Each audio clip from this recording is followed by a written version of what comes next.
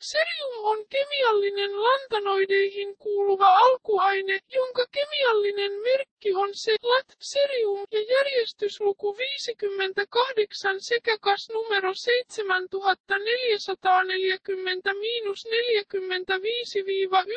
Tiheys on 6,75 grammaa. CM3, sen sulamispiste on 1071 kelviniä,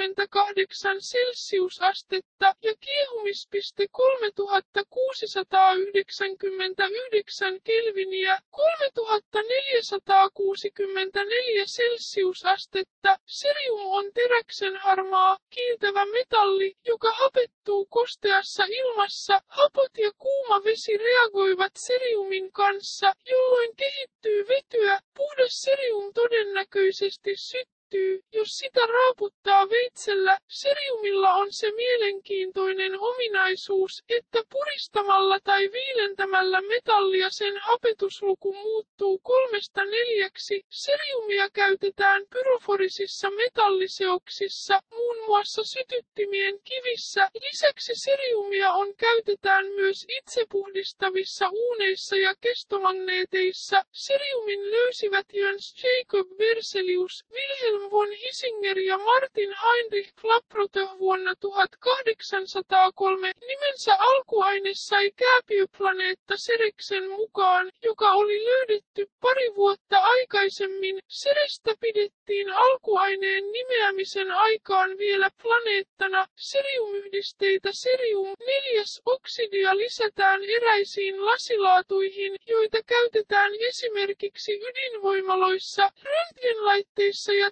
televisioissa seriumoksidi suojaa lasia röntgen- ja ultraviolettisäteilyltä. Seriumoksidia käytetään myös autojen katalysaattoreissa. Seriumsulfidia käytetään punaisena väriaineena, jolla värjätään laatikoita, leluja ja kotitaloustavaroita. Seriumnitraattia lisättiin aikoinaan kaasuvalojen sukkaan, jotta kaasu paloi puhtaammin. Isotoopit luonnossa esiintyvä serium koostuu neljästä isotoopista, pysyvästä 140 CR, osuus 88,48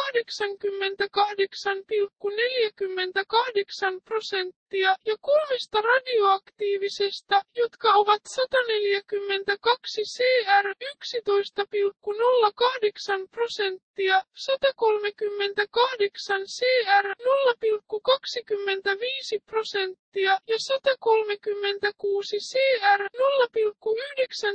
prosenttia. Alkuaineella on yhteensä 38 tunnettua radioaktiivista isotooppia, joiden massaluvut vaihtelevat välillä 119-157